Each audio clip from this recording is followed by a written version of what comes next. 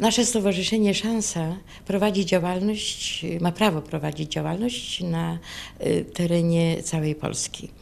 Y, Jednym z celów naszego działania, naszej działalności stowarzyszenia jest pomoc socjalna, pomoc dla innych ludzi, którzy są w potrzebie. W imieniu własnym oraz rodziny pragnę zaprosić Państwa na aukcję charytatywną, która odbędzie się e, 9 grudnia w niedzielę o godzinie 15 w Centrum Katolickim przy parafii Świętego Krzyża w Łomży.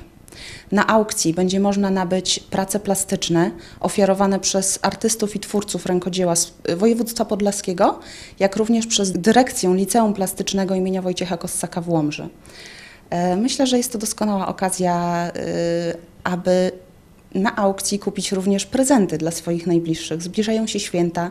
Będziemy również y, oprócz, oprócz obrazów, grafik, rysunków y, czy wytworów po prostu y, twórców z naszego województwa będziemy również sprzedawali bombki i ozdoby choinkowe wykonane ręcznie. Dochód, który uzyskamy podczas aukcji będzie w całości przeznaczony na rzecz Janusza Chojnowskiego, mieszkańca Łomży.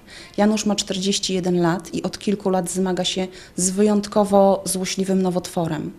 E, oprócz choroby nowotworowej em, dołączyła się również em, choroba układu chłonnego.